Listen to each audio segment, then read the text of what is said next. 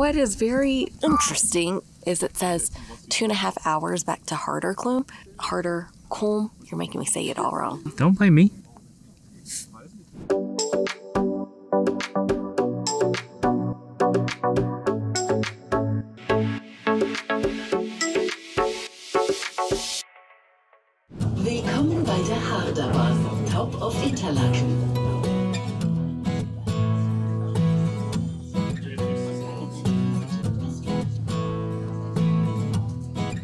All right, good morning. We made it up again to Harder Kulm, and today we are going hiking. We are doing the Harder Grat. So you could do it multiple ways, but the most popular way is from Harder Kulm to Habkern. It's six hours. You could also hike all the way to Brands or Rockmore. We're not to do that because it's like 10 hours. So this is the start of it. It is 928. We hope to finish in six hours.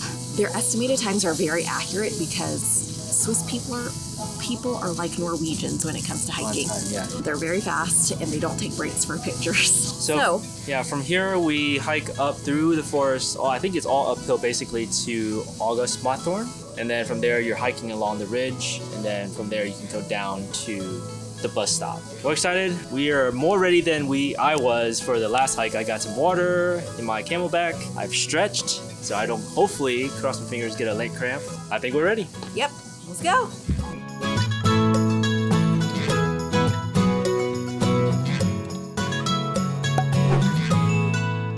The first part of that trail is all in the woods. Well, we're still in the woods, and it's all uphill. Finally come to a little bit of a flat spot. But yeah, it's a little tough because it rained yesterday, and so it's a little bit muddy. So we kind of have to be careful where we're stepping. But it's not too bad.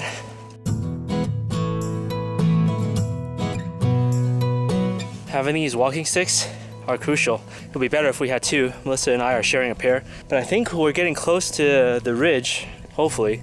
We've been walking for about 40 minutes now. We're in kind of this little flat area again. So we had a little flat, and then it kept going up. It's not super steep, so that I'm grateful for that. So it's just a gradual incline up. Clouds are still here. It looks a little bit clearer on that side. I think Melissa's back there somewhere. Yeah, I see her. Is this the muddiest hike we've ever done? No, it's been muddier. It is. It's very muddy.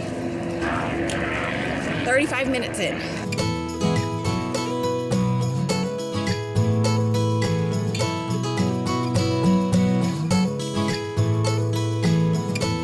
So far, it hasn't been a very difficult hike. The, the most difficult part of this trail so far is the mud and the tree stumps. Because of the rain yesterday, it's a little bit muddy. Well, it's a lot muddy, especially the tree stumps, uh, tree roots that you're walking across. They are incredibly slippery, slippery. So you gotta be very, very careful. And then, yeah, sometimes the trail is really narrow, so you gotta be careful about that as well. Hey, Melissa, Yeah, how's your hike so far? not bad. It's not as difficult as I was imagining it to be. I feel like we're on top of the ridge now. Now, obviously, Melissa's going down, but I think we're gonna. I think over there is top of the ridge. An hour and 35 minutes. An hour and 35 minutes in, and I think we're out of the woods. We're above some of the clouds, at least on this side, so you can see down. This side is still cloudy, It's a great view up here, though. but though. I see I wonder if we need to climb up there, kind of Yeah. in the Yeah, we do. clouds. I think that's August no, Mathorn. no, no, that's Suggiture.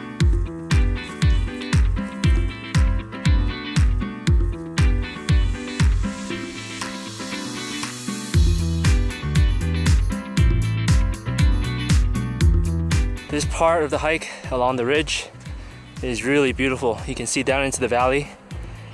For some reason, on that side of the ridge, it's cloudy, but over here, it's clear. So it's quite nice. I think the road that we're gonna have to hike down is somewhere down in the valley as well.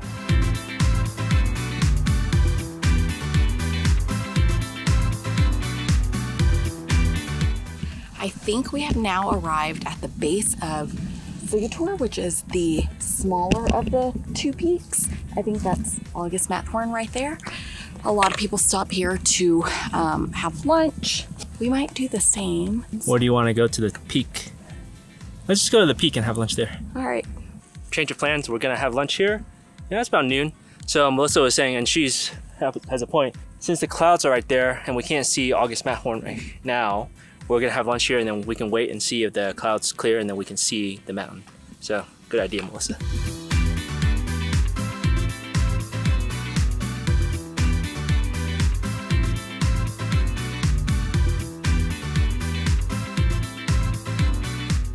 Finished lunch. Now, unfortunately, I don't think it cleared much during our lunch break, but we're gonna hike up and see what the view looks like up there.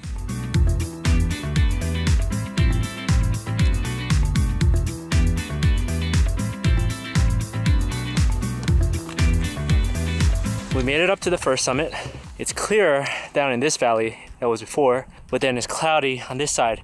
It looks like the clouds are just going up past this side of the mountain and then not going down. So it's actually kind of cool, except we can't see anything right now. So this is pretty cool. I don't know if you guys can see behind Melissa, the clouds are just hitting this ridge and then bouncing off.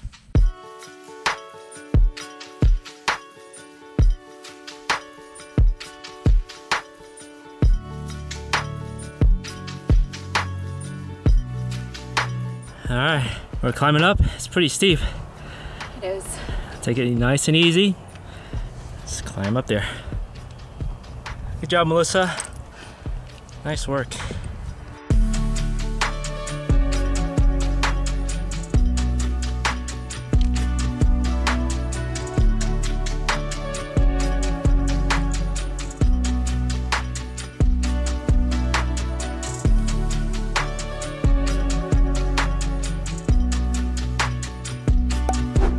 Reached the first peak. It's called Suggiture. However, we are in the clouds right now. So August Matterhorn is just that way. I think what's he said, 15 minutes. 15 minutes. Yeah. So we're gonna head that way and see if we can see better views from there, and maybe wait it out over there.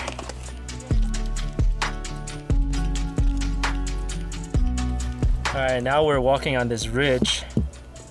So I'm not sure you can see much over here, but it falls off on this side and also falls off on this side.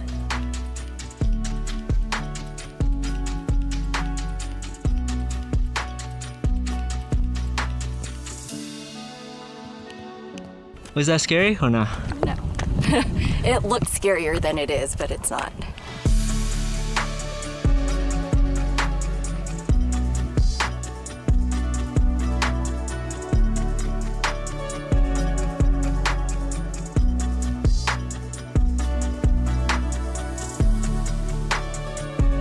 As we came up a little bit along the ridge, it became really cloudy. And now we can't see anything on either side. You can barely make out the lake down there, barely, past the clouds. But we have to keep going.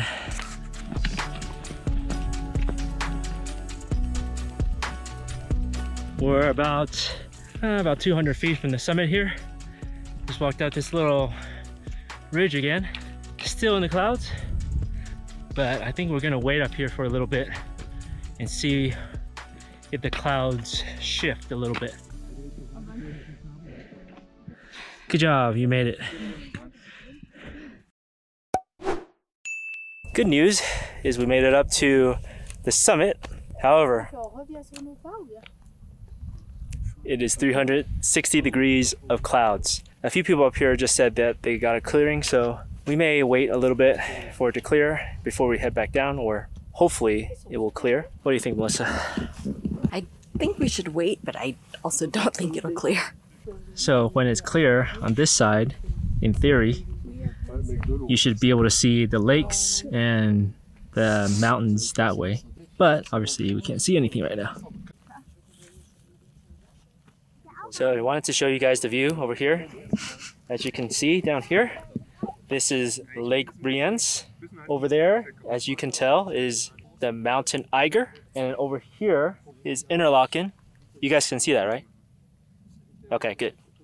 What are your overall impressions of this hike? Well, I'm sure it's amazing. A lot of people have this hike on their bucket list, but weather Conditions gods did weren't not ideal. cooperate today.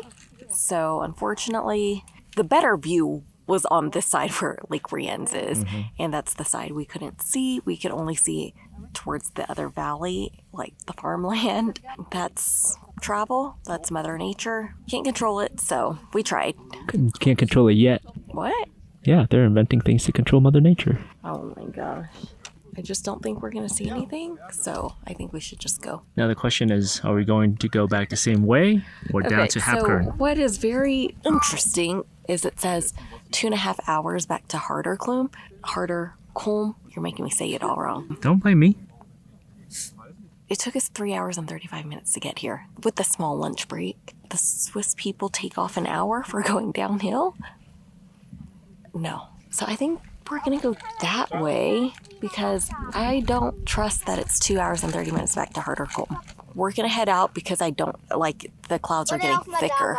I did like hiking on the ridges though. That was pretty cool. So if you keep going on the path that way, you'll reach Brienzer Rothorn, which is the mountain train, the steam train that we tried to go on yesterday. Well, we made it halfway, but apparently that way is marked blue, which is the dangerous path. With that, this is Augstmatthorn. This is the reason for this hike.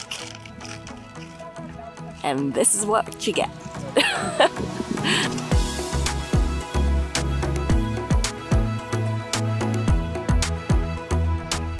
cow is blocking our path, so this will go up and around.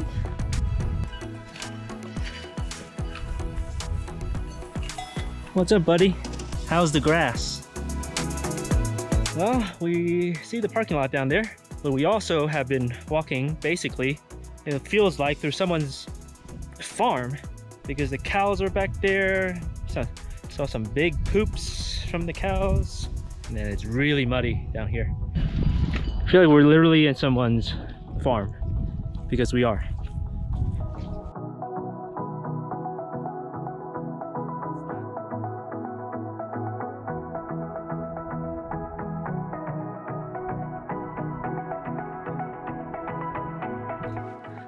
So the place that we wanted to go is Habkern, and then ultimately is supposedly this way. Doesn't look like there's a path there, does it, Melissa? so we're going this way. Well, it doesn't look like this way is any better, but at least it's more of a path. Definitely in someone's land because it's um, fenced off. But the good thing is we can see the parking lot down there.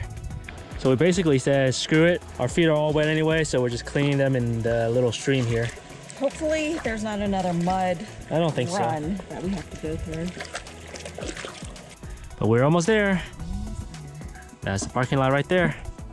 Made it back to the parking lot here, and then there's a little restaurant here at Lombok Shop or Lombok Alp, Lombachalp. And now we are trying to get to Habkern, which the sign says is an hour 30 from here. So, but it's the road, so that's nice. We're just walking and hoping that someone leaves and we can hitchhike. I don't think anyone's gonna want to take us in our condition. we are all muddy. I'll go in the back of someone's truck. Yeah, if this was Texas, you just hop in the back with the bed of someone's truck and head down the road. Even though we're walking on this road, the views are quite nice. This is definitely like a local area, mostly farms. We saw some pigs up there. Obviously, there's a lot of cows, but the views from here are pretty good. We can see the lake down here. It's a little bit lower, so the clouds aren't covering up the view. So it's pretty cool. Would you recommend walking down? I do not. I would recommend doing the round trip to Harder Kulm. So basically, we're just walking down this road like three and a half miles, something like that. I did stick out my thumb for one car and they just passed us up. So, Well, we just saw a truck pass us by. but it was an official work truck, so, I'm sure it's a liability for them to take hitchhikers. So we will continue he, walking. he seemed like he was understanding of our situation, but I think he just obviously he's working, so he can't do it. Okay, I think we're about just under 10 minutes from town. However, we just missed the bus, so we have to wait a whole another hour. Yeah, by the time we get there, another 50 minutes. It's not too bad. We'll get a little snack maybe in town. Oh my gosh. Okay. Well, this this is where we want to be. Yeah. Okay, well, this is the town of, uh, what is it? Oh, Habkern. And then this is the bus that we take back to Interlaken. Feels like it's an abandoned town. There's like no one here. Everything's closed. Today is the day after their national holiday, so maybe that's why it's closed. Oh no, this is open. Ah, just kidding. This is open. And it looks like it's a bakery.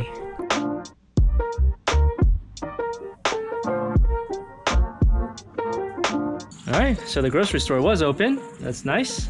I got a beer and Melissa got a carrot cake. I think I got carrot cake. It had carrot on top, so that is my assumption. So we're gonna have our drinks and snack and call it a day. Wait for the bus. Yep. We are now in Interlaken and we had the most fortunate situation come. So you know how we were supposed to wait for the bus, but we were literally sitting on the bus stop station on the little bench. And this guy comes up to me and he was asking about the like cheese vending machine. But then we got talking and they were actually a couple from France and they were doing the whole van life thing and they were you know asking about places to go and things like that so we offered them our advice and you know where we recommended they were about to take off to go to their next location and they asked us if we wanted a ride back to Interlaken. And Alan said no. I initially said no because we were super dirty. I didn't want to get their van dirty. No, you're dirty. I'm not dirty. I was very dirty. And but the look on my face was like, yes, I want a ride. and they saw it and they were like, oh, just just hop in. So anyway, they gave us a ride back. We learned about them. They learned about us. Um, They were super cool too. They were like real chill. They're like, yeah, just driving around for a week on in the van. So and Alan did get their van dirty, which I feel really bad about. sorry. It's a rental, yeah. but they have to sleep on that thing. Well, I think they, they put a mattress thing or cover over it, I'm sure. But anyway, I thought that was so cool that that we just happen upon. That's the coolest thing about travel. Sometimes you just You meet meet the, most coolest best people. Yeah. So that was cool. Anyway, all right. See you next time.